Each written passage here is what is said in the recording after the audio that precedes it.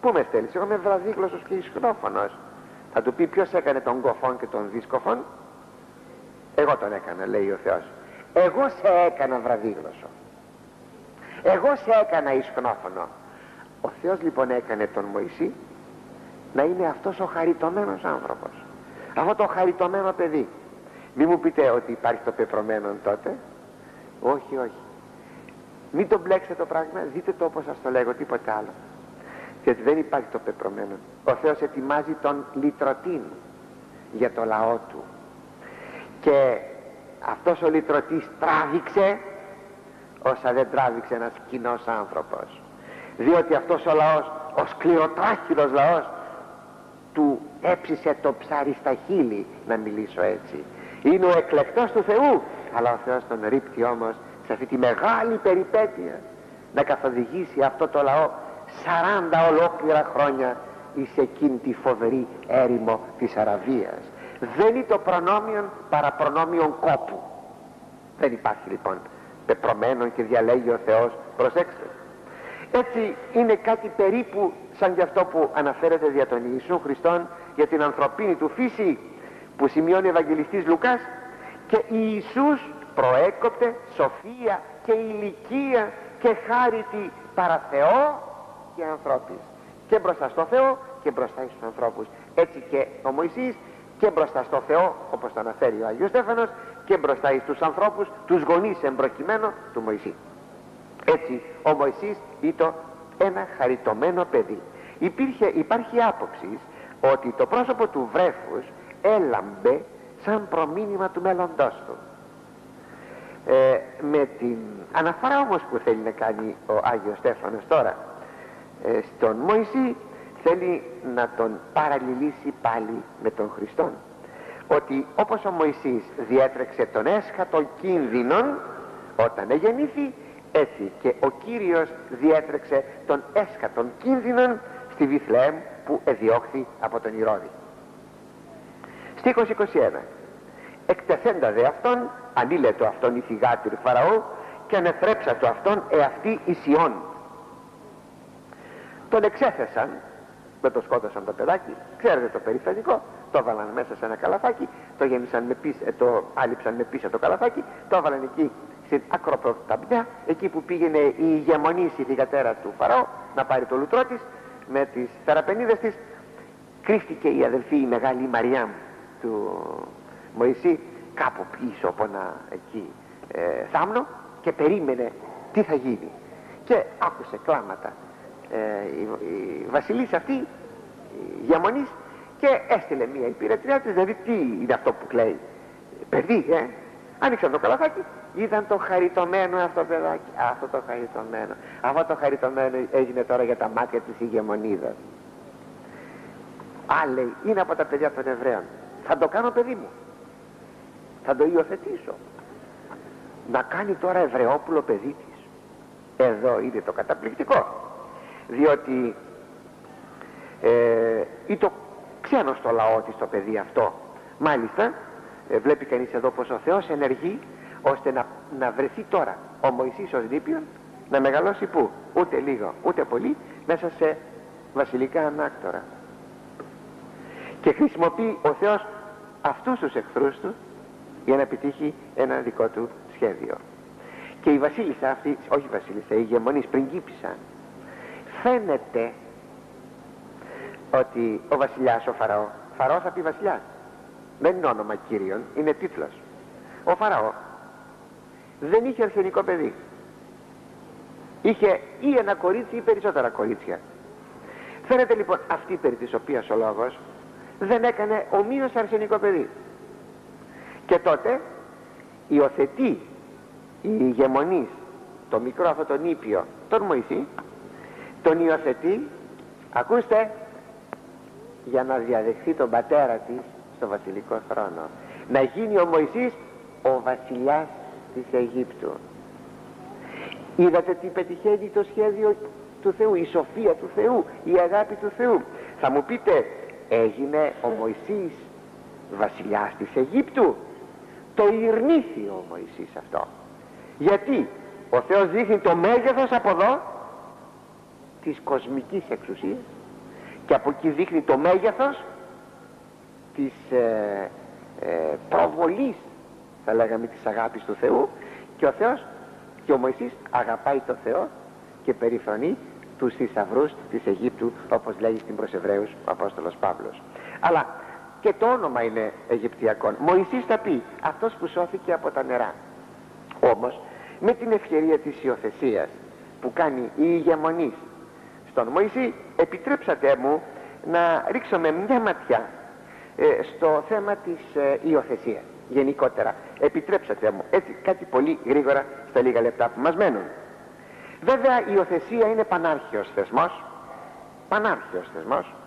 Το βλέπετε και από την ιστορία. Και μπορεί βέβαια να θεωρηθεί και όπως αθεωρείται σαν μια πράξη φιλανθρωπίας. Σαν υιοθετημένα παιδιά υπήρξαν σπουδαίοι άνθρωποι στην ιστορία έτσι πρόχειρα σας λέγω τον Άγιο Κοσμά τον Μελωδό που υιοθετήθηκε από τον πατέρα του Αγίου Ιάννου του Δαμασκηνού τον Σέργιον και ανεδείχθη ο Μέγας αυτός μελου, ε, Μελωδός και ποιητής ο Άγιος Κοσμάς ο Μελωδός αλλά εν τούτης στην εποχή μας υπάρχουν επιφυλάξεις θα έλεγα για το θέμα της υιοθεσίας. σήμερα μια υιοθεσία δεν είναι πλέον θέμα φιλανθρωπίας όπως παλιά ήταν που μια οικογένεια πλάι στα παιδιά τα δικά της υιοθετούσε. Ένα ή περισσότερα παιδιά. Είχε παιδιά η οικογένεια και υιοθετούσε και παιδιά που ονομάζονται ψυχοπαίδια ψυχογιός και ψυχοκόρη. Για ψυχικό δηλαδή για φιλανθρωπία. Μάλιστα πολλές φορές το παιδί του μαγαζιού μπορούσε από υπάλληλος να γίνει ψυχοπαίδι να ζει μέσα στην οικογένεια και να απολαμβάνει όλα τα δικαιώματα της οικογένειας σήμερα η υιοθεσία αγαπητοί μου αποβλέπει περισσότερον σε ψυχολογικούς και σε συναισθηματικούς λόγους τους ζεύγους που στερείται παιδιά. Αν όμως κανείς λογαριάσει τη δυσκολία της αγωγής που έχει σήμερα ένα παιδί να μεγαλώσει αλλά και την κληρονομική επιβάρυνση που μπορεί να έχει ένα παιδί που αγνοούνται πολλές φορές οι γονείς του να έχει τότε φοβερά μειονεκτήματα τα οποία να είναι περισσότερα από την ψυχολογική ή την συναισθηματική κάλυψη που θα ζητούσαν οι γονείς υιοθετώντας ένα παιδί. Ε, πολλοί ακόμη σκέπτονται τα γυρατιά τους. Εγώ σας λέγω ότι είδα πολλούς πολυτέκνους ανθρώπους χωρίς την προστασία των παιδιών των να είναι περιφρονημένοι, πεταγμένοι στο δρόμο. Αν και έκαναν πολλά παιδιά που σημαίνει ότι μην λες να έχω παιδί να με κοιτάξει τα γυρατιά μου. Είναι ασθενές επιχείρημα. Άλλοι πάλι σκέπτονται τη μεγάλη τους περιουσία πού θα τα αφήσουμε αυτά τα πράγματα που έχουμε; Είναι πολύ απλό. Να τα διαθέσεις αδελφέ μου για φιλανθρωπικούς σκοπούς για σκοπούς αγάπης. Πρέπει ακόμη να λογαριάσουμε και τους ψυχολογικούς λόγους του υιοθετημένου. Διότι αν μάθει την αλήθεια γύρω από την καταγωγή του τι γίνεται; Πώς θα σταθεί μπροστά στο θετό πατέρα και στη θετή μητέρα; Ε, αυτό είναι ένα πάρα πολύ σοβαρό πρόβλημα το οποίο σήμερα αντιμετωπίζεται με την βαθμιδόν και, κατα... και την προοδευτική θα λέγαμε αποκάλυψη στο παιδί. Του λέμε κάπου 2-3 χρονών κάτι. 4-5 χρονών κάτι. Σιγά σιγά σιγά σιγά ώστε το παιδί να μάθει ότι δεν είναι δικό μας παιδί αλλά από αγάπη εμείς το έχουμε στο σπίτι μας. Αυτή υπάρχει σήμερα η τακτική δεν ξέρω τι πλεονεκτήματα και τι μειονεκτήματα έχουν δεν τα εξετάζω. Ε, δεν θα ήθελα να υποστηρίξω ότι αποκλείουμε μια υιοθεσία γιατί υπάρχουν και λαμπρές περιπτώσεις. Θαυμάσια παιδιά γίνονται ύστερα από υιοθεσία αλλά απλώς επισημένουμε τους κινδύνους τους οποίους πρέπει να έχουμε υπόψη.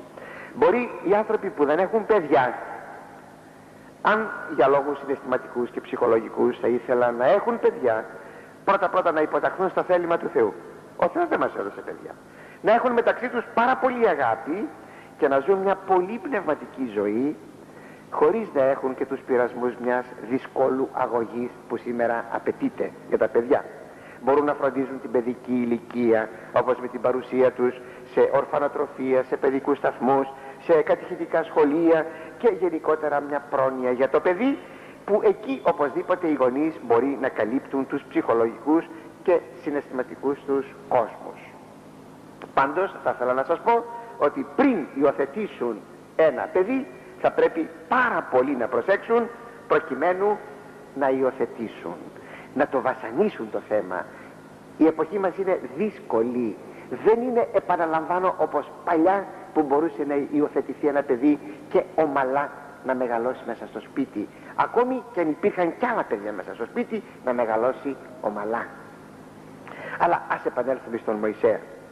Η Ιουδαϊκή παράδοση αναφέρει ότι όπως σας είπα ο Μωυσής έπρεπε να γίνει βασιλιάς. Αλλά το μέλλον του Μωυσέως ήταν πολύ λαμπρότερο από το μέλλον του Ιωσήφ. Διότι ο Ιωσήφ έγινε αντιβασιλιάς. Αλλά ο, ο Μωυσής θα γίνεται βασιλιάς.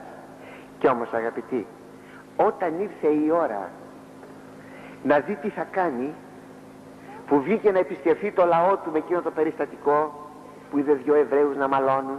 Συγγνώμη είδε έναν Αιγύπτιο να κακοποιεί έναν Εβραίο και τον εφώνευσε αυτόν τον Αιγύπτιο και την άλλη μέρα πήγε να χωρίσει δύο Εβραίους και του λέει ο ένας τι ήρθες να με σκοτώσεις και εμένα λέει όπως σκότωσες εχθές τον Αιγύπτιον φοβήθηκε ο Μωυσής α ώστε με είδαν. Αυτό που έκανα. Ήθελε να υπερασπιστεί το λαό του. Ή το 40 χρονών. Είχε όριμη σκέψη. Ή το σοφός και πολύ δυνατός στη σκέψη και στο λόγο. Θα δούμε τι είδους λόγος του αυτός την ερχομένη φορά. Κι όμως αγαπητοί μου αρνήθηκε να γίνει να ονομαστεί Υιός της θυγατρός του Φαραώ. Γιατί; Μέσα του έβλεπε ένα μεγαλύτερο πλούτο τον πλούτο του Χριστού όπως τον περιγράφει ο Απόστολος Παύλος στην προς Εβραίους επιστολή του ότι πίστης Μωυσής πίστη Μωυσής μέγας γενόμενος ηρνήσατο λέγεστε Υιός θυγατρός Φαραώς μάλλον ελόμενος μάλλον προτιμώντας συγκακουχίστε το λαό του Θεού ή πρόσκαιρον έχειν αμαρτίας απόλαυση μίζωνα πλούτων ηγισάμενος των Αιγύπτου θησαυρών τον ονειδισμό του Χριστού. Απέβλεπε γάρ εις την μισταποδοσία αλλά αυτό το χωρίο είναι πολύτιμο. Γι' αυτό αγαπητοί μου πρώτο Θεός θα το αναλύσουμε περισσότερο την ερχομένη Κυριακή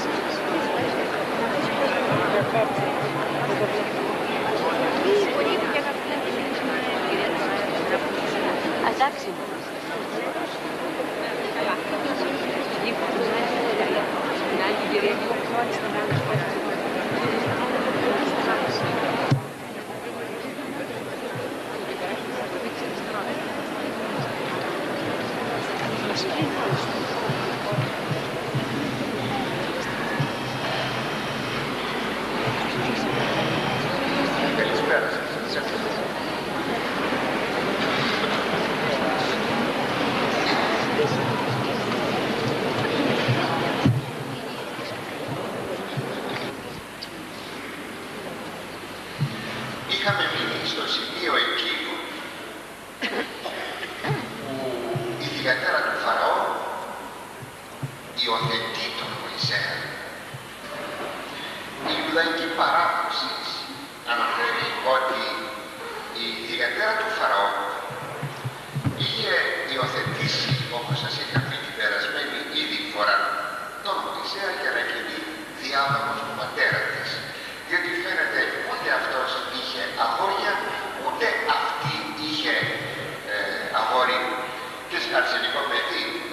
Και συνεπώς ποιος θα ήταν ο διάδοχος του χρόνου. Έτσι ο Μωυσής είχε μπροστά του ένα λαμπρό μέλλον. Είναι ακατανόητο δε ε, ένα παιδί από ένα διωγγόμενο και καταπιεζόμενο λαό τελικά να γίνει ο βασιλιάς της Αιγύπτου. Και το μέλλον του Μωυσέως ή το βεβαίως ανώτερο από εκείνο το μέλλον του Ιωσήφ. Διότι ο Ιωσήφ έγινε αντιβασιλεύς ενώ ο Μωυσής θα γίνεται βασιλεύς. Εν τούτης, όπως ήδη ξεκινήσαμε να λέμε την περασμένη φορά, αλλά μας ε, συνεπιδρώθη ο χρόνος, εν τούτης, ο Μωυσής, παρά τη λαμπρή του εξέλιξη, απειρμήθη ένα τέτοιο αξίωμα, αν και είναι όριμο στην ηλικία 40 ετών. Μπορούσε δηλαδή πάρα πολύ καλά να σκεφτεί, δεν είναι το ένα παιδάκι, ένας έφηβος που ίσως δεν μπορούσε να συλλάβει το μέγεθος του πράγματος, ή το όριμος, σας ξαναλέγω, 40 ετών, και παρά τα αυτά αρνείται. Γιατί άραγε ηρμήθη. Αυτό μας το εξηγεί η προσεβραίωση επιστολή που θεοπνεύστος πάντοτε μας λέει τα εξής αξιοσημείωτα και τα οποία για μας είναι ε, πολύ σπουδαία μπορούν να σταθούν οροφές της πνευματικής ζωής του κάθε πιστού. Όχι απλώς πιστεύω στον Θεό, όπως εμείς οι χριστιανοί ήδη μένουμε με ένα μήνυμου, με ένα ελάχιστο πίστεως ή με ένα ελάχιστο πνευματικής ζωής. Ε, πιστεύω στον Θεό, πρόσεχω να μιλώ τις εντελές, όχι. Εδώ βλέπει κανένας, όπως θα δείτε στη συνέχεια, ότι στα θέματα της πνευματικής ζωής δεν υπάρχει τελειωμός. Τελειώνει στον ουρανό και ούτε εκεί τελειώνει. Τελειώνει στην αιωνιότητα και ούτε εκεί τελειώνει. Η ανάπτυξη της ε, πνευματικής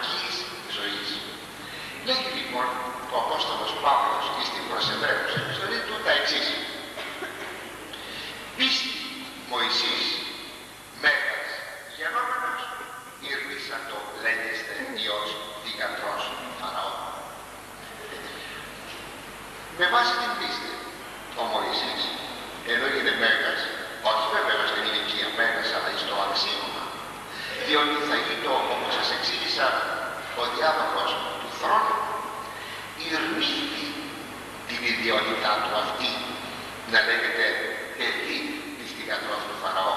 Γιατί ηρμήθη. Δηλαδή, μα τι σημαίνει ηρμήθη. Δεν θέλω να είμαι ο διάδοχος του θρόνου. Θα ήταν κάτι ίσως για τον οποιοδήποτε, όπως θα δούμε ήταν πολύ κορυφωμένος ο Μωυσής, δούμε λίγο πιο κάτω, ε, ανόητο. Σας είπα, ήταν 40 χρονών. Αλλά εδώ όμως είναι το μεγαλείο του Μωυσέως. Μάλλον ελόμενος συγκατοχίστε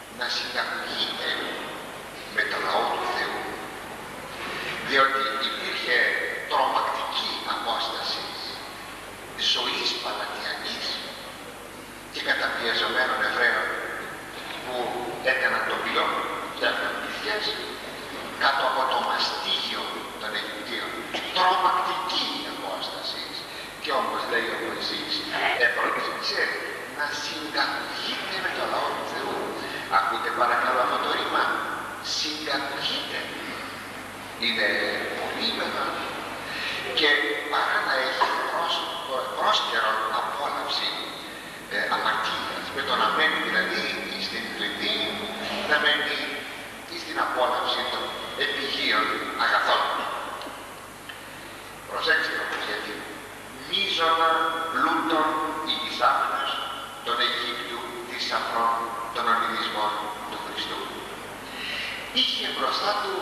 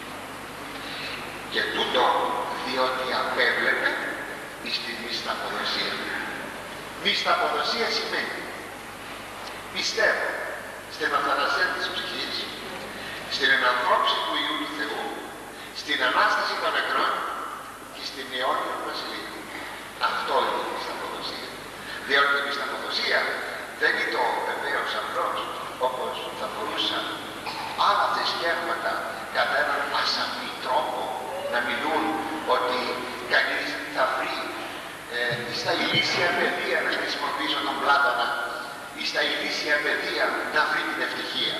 Ποια είναι αυτά τα ηλίσια παιδεία και, και ποιος μας πληροφορεί αυτά τα ηλίσια παιδεία και τι είναι εκεί; Προϋποθέτει την Ανάσταση των νεκρών και να απολαύσει κανείς τα αγαθά της Βασιλείας του Θεού ως εις τα αποδοσία της πίστεως. Ως δηλαδή αμοιβή της πίστεως. Βεβαίως θα μου πείτε στην πίστη πηγαίνει εις τα αποδοσία. Όχι.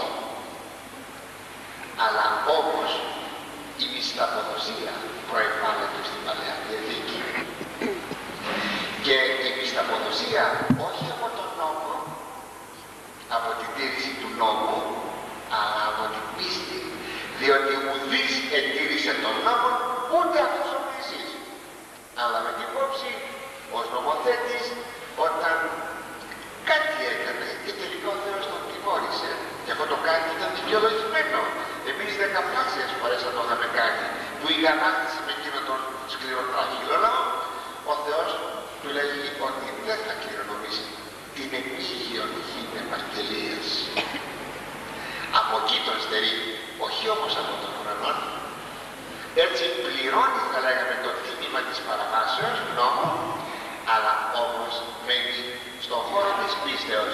Διότι ο Απόστολος Παύλος στην προσεβαίους επιστολή θέλει να τονίσει το θέμα της πίστεως. Μπορώ να σας πω ότι το θέμα της προσεβαίους επιστολής θα μπορούσε να αναπτυχθεί όπως αναπτύσσεται στην προσεβαίους επιστολή, όχι από τον Παύλο, από τον Στέφανο. Δεν με πρόλαβε. Διότι ο Στέφανος είναι εκείνος που προβάλλει τώρα στην απολογία του το θέμα της πίστεως. Ε, ο, αυτό είναι το σπουδαίο. Ο Παύλος συνεχίζει το έργο του Στεφάνου. Προβάλλει την πίστη, όχι τα έργα. Εκείνο το οποίο έκανε τους συνέδρους να αισθάνονται πολύ άσχημα. Ωστόσο, βλέπουμε εδώ ότι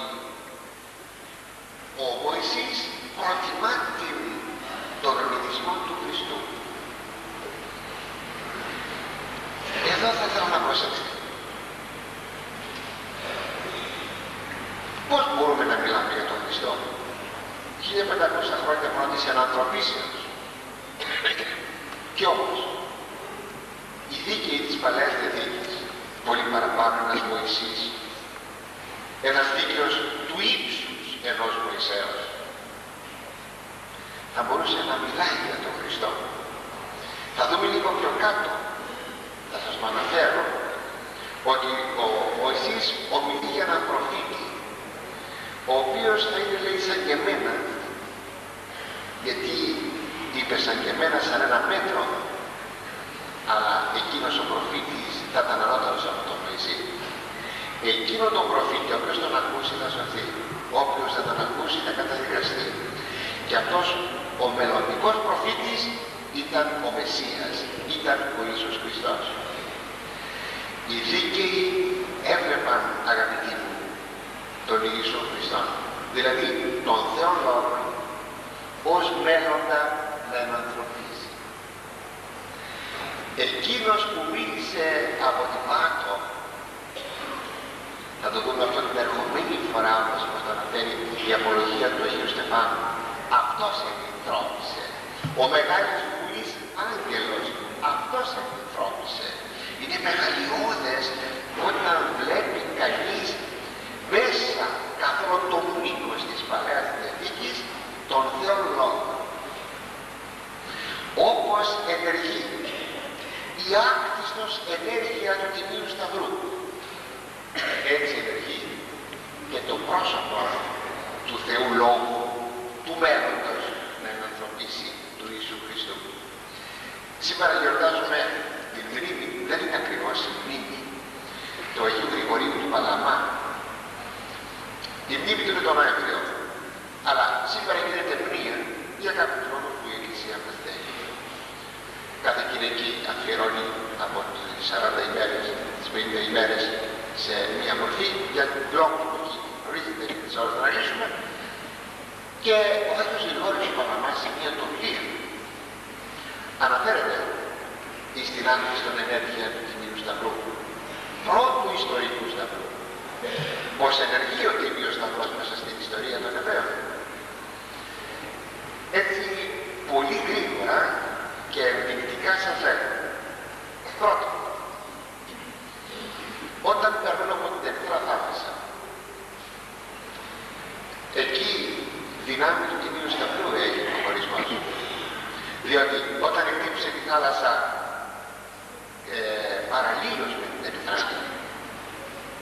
συγγνώμη κάθετα με την Ερυθρά στην Ερυθρά κάθετα ας πούμε ότι ήταν ένας πορθμός ας πούμε ότι ήταν ε, τότε ήταν βεβαίως ένας φόρμος σήμερα είναι το άνοιγμα του Σουέζ. Οπότε με το ραφτί του έκοψε την Ερυθρά θάλασσα χτύπησε λοιπόν κάθετα όταν πέρασαν από την άλλη μεριά το νερό άνοιξε μετά χτύπησε παράλληλα με τον κόλπο και έτσι σχηματίστηκε βέβαια ο Σταυρός με τα δύο αυτά χτυπήματα. Πρώτα το πρώτο και μετά το δεύτερο χτύπημα. Το πρώτο έτσι και μετά το δεύτερο έτσι. Σχηματίστηκε ο Σταυρός και το νερό έκλεισε πάλι και έπληξε τους Αιγυπτίους.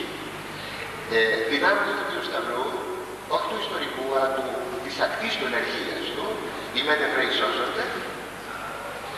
Οι δε Αιγύπτιοι χάνονται όπως και με τον ιστορικό σταυρό ζυγός και λέει κύριε βρέθη ο σταυρός. Ο ένας ολιστής πηγαίνει προς τα πάνω σώζεται. Πηγαίνει στον παράδεισο. Και ο άλλος πηγαίνει στον άδειο. Οι Εβραίοι σώθηκαν, οι Αιγύπτιοι καταποντίστηκαν μετά αργότερα με τον πρώτο πόλεμο που κάνουν οι Εβραίοι με τους Αμαλικίτας όταν ο Μωυσής υψώνει τα χέρια του εκεί εις τύπον του Τιμίου Σταυρού και κερδίζουν τη μάχη οι Εβραίοι. Όταν κατέβαζε τα χέρια του κάτω και κέρδισαν οι Αμαλικίτες, δυνάμει του Τιμίου Σταυρού. Κατόπιν με τα φίδια στην έρημο, δυνάμει του Τιμίου Σταυρού. Εστάθηκε εκείνος ο κοντός, ήταν ύπος Σταυρού. Και λοιπά και λοιπά. Έχουμε πλήθος ή ο Ιωσήφ ε, που επίλυσε το άκρο της ράμφου του και όταν έδωσε την ευλογία στα παιδιά του, του παιδιού του, του Ιωσήφ που ήταν αντιπασχάς της Αιγύπτου, ξέρετε πώς την έδωσε την ευλογία στα παιδιά.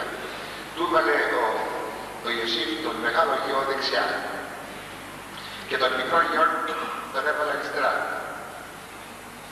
Ο Ιακώβ ήταν τυφλός.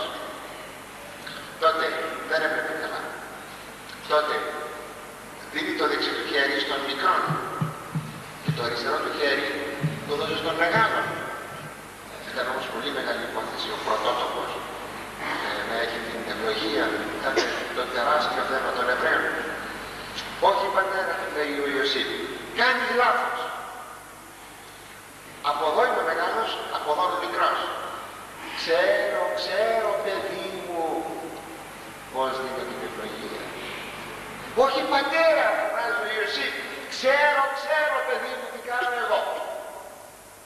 Δεν του διέφυγε του Ιακώβ, αλλά βάζω στα χέρια του έτσι, έκανε σταυρό. Αλλά τότε πολύ θα ακολουθήσω περισσότερο. Πλήθος σημεία υπάρχουν στην Παλαιά Διαθήκη, δια να καταδείξουν την άνθηση των ενέργειων του Τιμίου Σταυρού.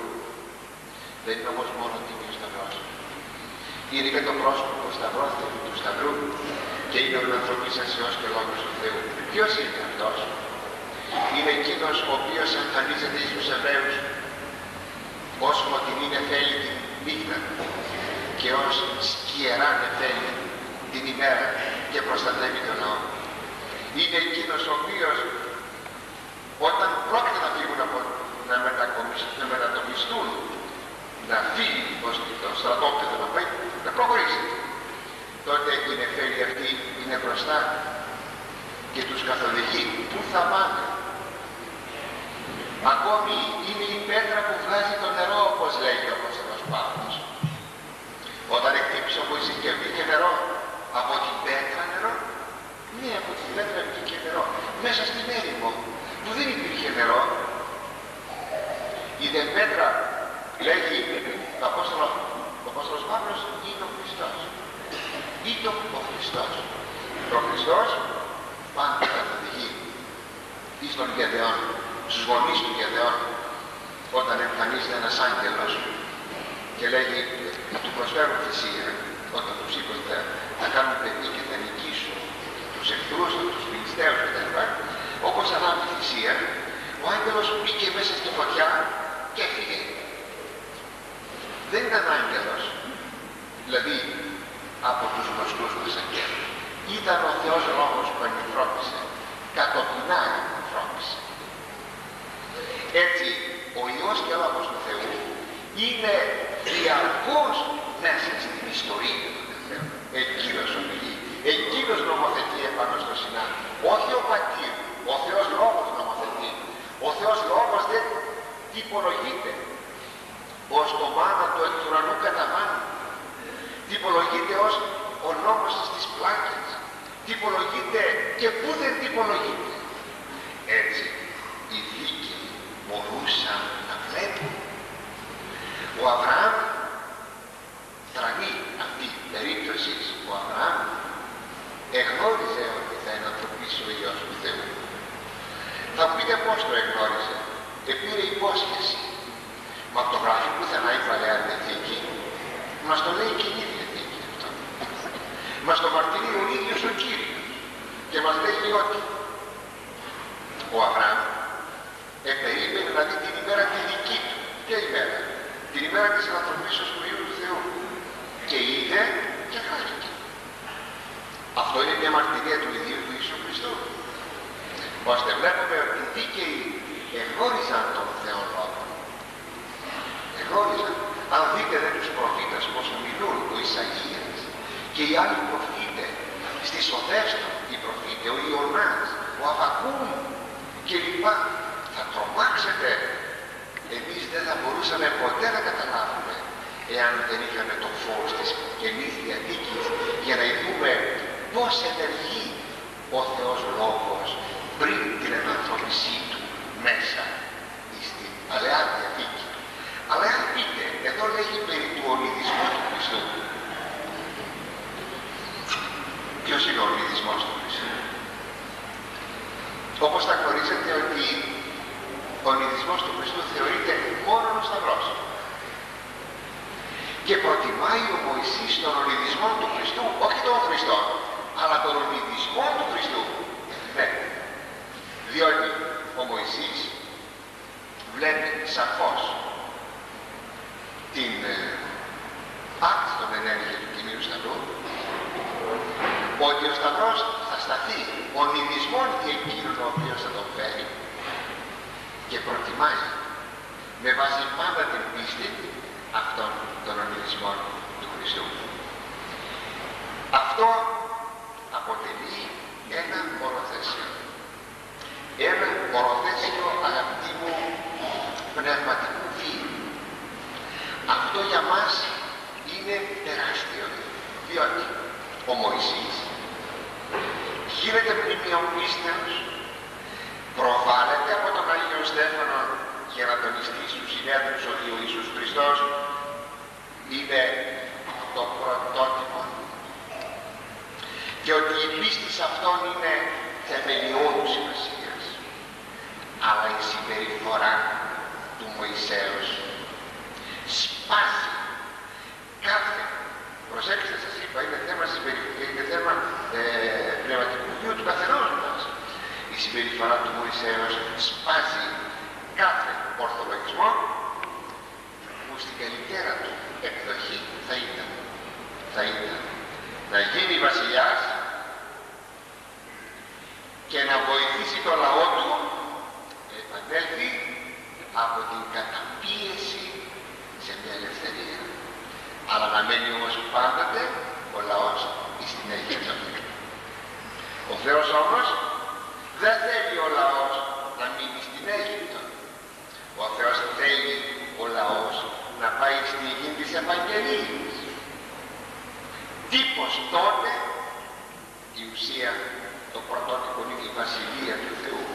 Τύπος δε η Αίγυπτος του κόσμου τούτου. Τύπος του κόσμου τούτου. Και ο Μωυσής αρνείται να γίνει βασιλιάς. Αυτό το σπάσιμο του ορθολογισμού. Κάποιος θα του λέγε, μα εδώ θα προσφέρεις υπηρεσίες θαυμάσιες στο λαό σου με το να γίνεις βασιλιάς. Όχι. Αυτό που δεν μπορούμε να το καταλάβουμε. Γι' αυτό σας μίλησα και σας είπα για ένα σπάσιμο του ορθολογισμού. Και προτιμάει ο Μωυσής να συγκατοικείται με τον νόμο του Θεού και να φέρει τον ονειδισμό του Χριστού που αποτελεί αυτό ένα τύπο συμπεριφοράς του χριστιανού μέσα στον κόσμο. Θα το ξαναπώ άλλη μια φορά. Αποτελεί τύπο συμπεριφοράς του χριστιανού μέσα στον κόσμο. Έτσι χίλιες φορές θα μας προβάλλει ο κόσμος. Στοιχεία, αξιώματα, σταυρούς, πλούτων. Θα μπορούσαμε να σκεφτούμε ότι με αυτόν τον τρόπο θα μπορούσαμε να βοηθήσουμε ίσως την Εκκλησία. Αλλά αυτό είναι ο ορθολογισμός. Γιατί πιθανότατα δεν θα σωθούμε. Και ακόμα πιο πιθανά η Εκκλησία να μην έχει ανάγκη από τα αξιώματά μας και από τον πλούτο μας και τις διευκολύνσεις που θα κάναμε σε αυτήν. Ίσως να μην έχει ανάγκη. Δεν μάθαμε ακόμα ποια είναι η πορεία της Εκκλησίας μέσα στην ιστορία. Την μάθαμε αρματωμένη με πολλά πράγματα κοσμικά. Δεν αντιληφθήκαμε ποια είναι η πορεία της. Δεν ξέρω αν μπορούμε να το καταλάβουμε αυτό. Πάντως, αν κάποτε δούμε αυτό το χωρίο που γράφει στην Προσεβαίους 11,24 ο Απόστολος Παύλος με τον Μωυσέα, τότε θα καταλάβουμε ότι αποτελεί τύπον συμπεριφοράς του κάθε χριστιανού μέσα στον κόσμο αυτόν. Και ερχόμαστε σε ένα νέο χωρίο. Και επεδέχθη Μωυσής πάση σοφία Αιγυπτίων, είναι δυνατός εν λόγης και ενέργειες. Και εξεπαιδεύθη ο Μωυσής με όλη τη σοφία των Αιγυπτίων είναι ο δυνατός στα λόγια και στα έργα. Βλέπουμε εδώ, συνεχίζοντας την απολογία του Άγιου Στέφανος, να αναφέρεται στην παιδεία του Μωυσέως, δηλαδή στη μόρφωσή του. Βέβαια δεν μας λέει τίποτα η Παλαιά Διαθήκη για την παιδεία του Μωυσέως, αλλά κατά την παράδοση του Φίλωνος και του Ιωσήπου, που αντιπροσωπεύουν την Ιουδαϊκή παράδοση, ο Μωυσής είχε εκπαιδευτεί άριστα τη σοφία των Αιγυπτίων ως προοριζόμενος δια την Αιγυπτιακή βασιλεία. Έτσι ένας ο οποίος θα γίνει ε, βασιλιάς άτομο μιας πολιτείας επί του κράτους βεβαίως υποτίθεται ότι πρέπει να έχει μια αρίστη παιδεία. Και όπως μας λέγει εδώ και εξεπαιδεύει σε κάθε σοφία της Αιγύπτου. Δηλαδή, όπως γνωρίζουμε από την απ' έξω ιστορία, δηλαδή στην φυσική φιλοσοφία, στην αστρολογία, στην αστρονομία. Σημειώσατε ότι θεωρείται η πυραμίδα του Χέοφος, ότι είναι ένα μνημείο που απολυθώνει το σημείο τις μαθηματικές και αστρονομικές γνώσεις της εποχής. Εκφράζει σε υποπολαπλάσια εννοείται το μήκος του μεσημβρινού, το μήκος ηλίου ηλίας και όλα πολλά.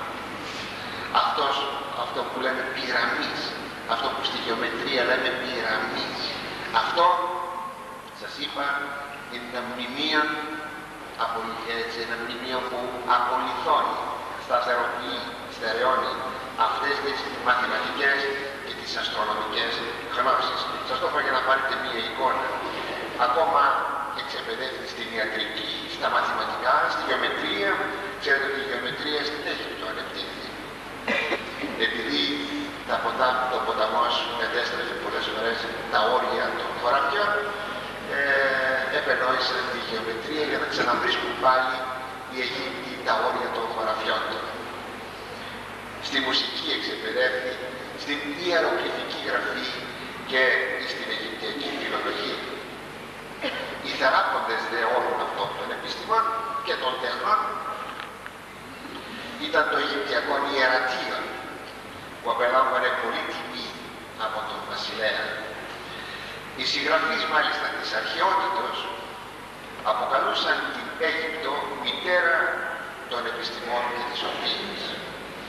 Για να δείξει αυτό η Αγία Γραφή, παλαιά τεχνική, ότι η σοφία του Σολομώντος το πολύ μεγάλη, την αντιπαραβάλλει με την σοφία των Αιγυπτίων. Λέγει λέει στο γάμα βασιλειών 5,10 τα εξής. Και επιθύμχη Σαλομών σπούδρα υπέρ την φρόνηση πάντων αρχαίων ανθρώπων και υπέρ πάντας φρονίμους Αιγύπτου. Υπερέβαλε ακόμη ο Σολομών και τους μορφωμένους της Αιγύπτου που σημαίνει ότι η Αίγυπτος ήταν ο τόπος της πολλής ε, της μεγάλης μορφώσεως. Είχε φύγει ε, στα γράμματα και στις τέχνες η Αίγυπτος. Αυτό το γνωρίζουμε. Αυτή την πέδευση πήρε, όπως μας λέει ο Άγιος Στέφανος, ότι πήρε την, ο Μωυσής πάσαν την σοφία Αιγύπτου. Όχι απλώς σοφία Αιγύπτου, αλλά πάσα όλη τη σοφία της Αιγύπτου. Εχρειάστη αυτή η εκπαίδευση στον Μωυσή, αυτή η μόρφωση. Ασφαλώς ναι. Διότι σαν ηγέτης, μελλοντικός ηγέτης, ο Θεός το εκπαίδευσε έτσι. Πού να μορφωθεί Εβραίος, οι Εβραίοι δεν μάθουν αγράμματα. Οι Εβραίοι δεν μάθουν αγράμματα. Ακόμη και ο Αβραάμ, ο Ισαάκ, ήταν αγράμματα. Αλλά και οι Εβραίοι ο λαός που μεγάλωσε και ανεπτύχθη στην Αίγυπτο ήταν αγράμματοι. Έπρεπε λοιπόν ένας παγωμένος άνθρωπος να σταθεί ηγέτης από του λαού. Έπρεπε ακόμη να αντιμετωπίσει πολλά τεχνικά